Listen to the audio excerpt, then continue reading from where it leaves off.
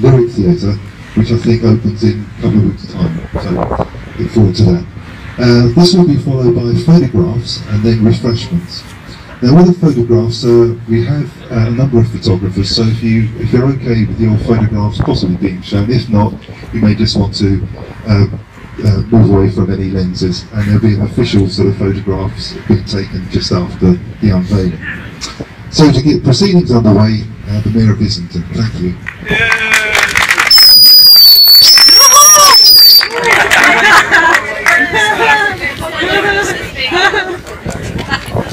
Sorry, I'm not the best mayor doing the mistake already. I'd just like to say it's great to see so many people here. It is so important for LGBT. I mean, it's sad that we have to have these things because people should have the right, we shouldn't be after who we are, what we are, you know, but we still must keep getting out our message. Um, I want to thank Network Homes for giving us the permission to put this on the side of the building. Islington staff and libraries who are always amazing. These plaques really do mean something because so many people are studying Derek's work now. They can look up and, and that's important. It's a nice tribute to the person as well.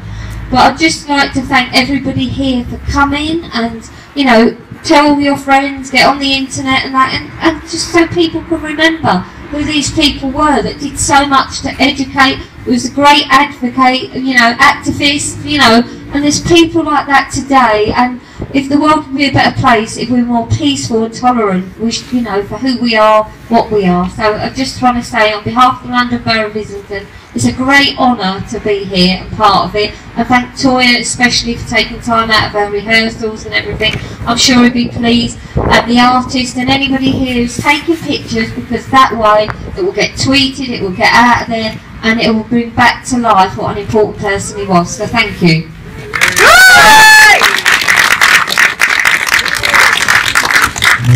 Okay.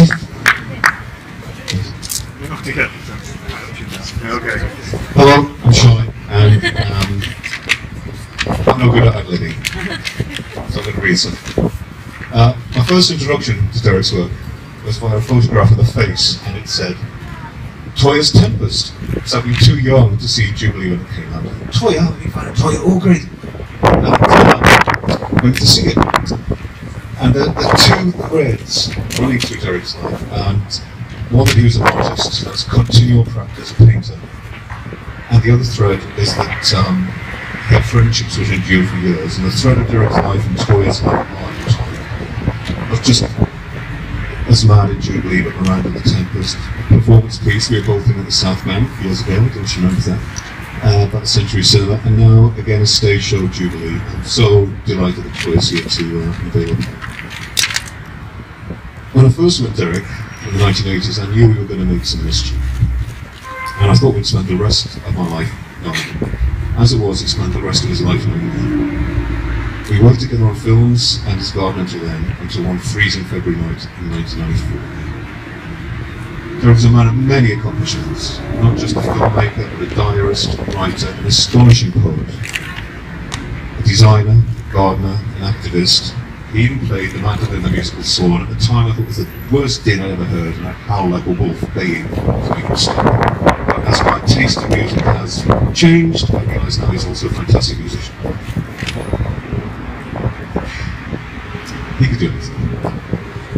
And as here, you know, he worked for several major art shows, including the opening show for Lisson Gallery. Derek's description of the home he forged with his friends, some of whom are here today, it's lovely to see Milo here as well is one for everyone to envy. It was an amazing film. Some of the books when he lived here and photographs of the are lovingly kept on display at the Islington Library and I suggest everyone visits them. One last thing, when Derek lived here, he saw the passing of the Sexual Offences Act of 1967 and much progress in equality has happened since his death. These are rights hard fought for, and as difficult as they were to gain, they can easily be remembered as something everyone should resist.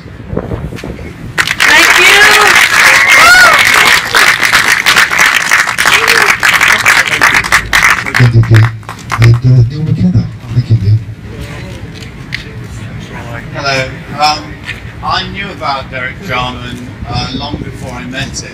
When I lived in Norwich, long before I lived in Islington, I went to see Sebastiane at Cinema City. And for weeks beforehand, there had been a controversy in the local paper about gay porn being shown in a council-funded cinema. And I went along, and my jaw was dropping on the floor again and again and again because I'd never seen such fantastic homoerotic film entirely in Latin. Um, the first time I saw Derek was in 1987 and he was speaking at a conference on HIV and AIDS at the Queen Elizabeth Conference in Westminster. And he uh, came out as a person who had HIV. And that was an act of tremendous heroism because in 1987, some of you will remember how horrible uh, life for gay people was and for people with HIV and AIDS.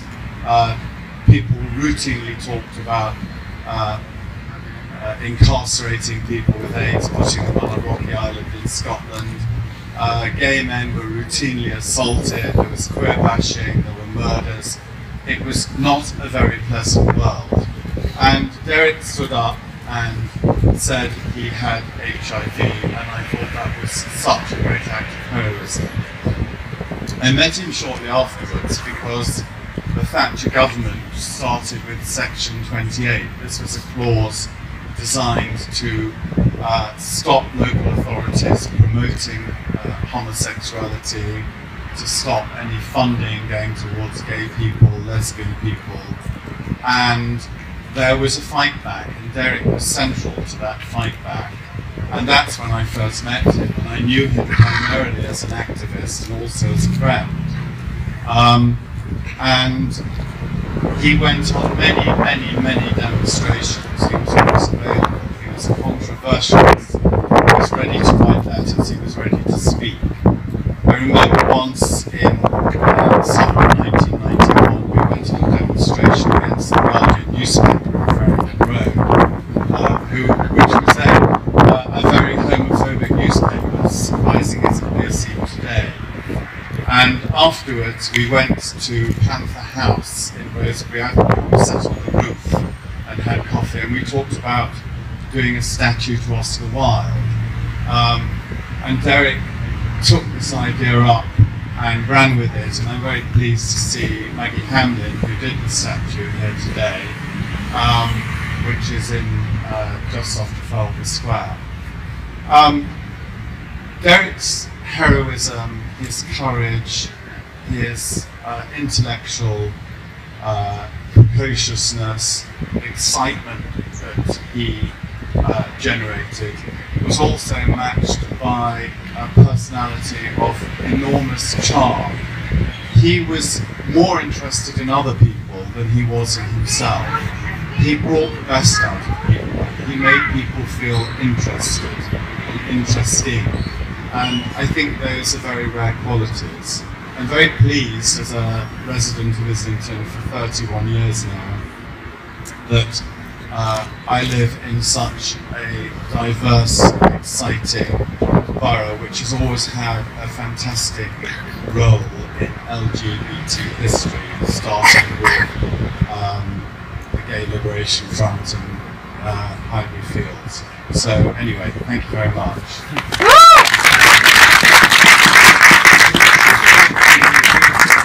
Hello, I'm, I'm Toyah, and uh, I'm, not, I'm, not, due to speak, but I, I just want to say thank you for all your words because the one thing about Derek was he accepted everyone. He could see the good in everyone. It, it wasn't all about um, the politics of sexuality, it was actually the politics of academia as well. Uh, I'm probably the least academic person he ever knew, and he accepted me on every level. And I'm forever grateful for that because he gave me the confidence to do what I did for the next 40 years. Uh, I loved him like I love my father. He was so special.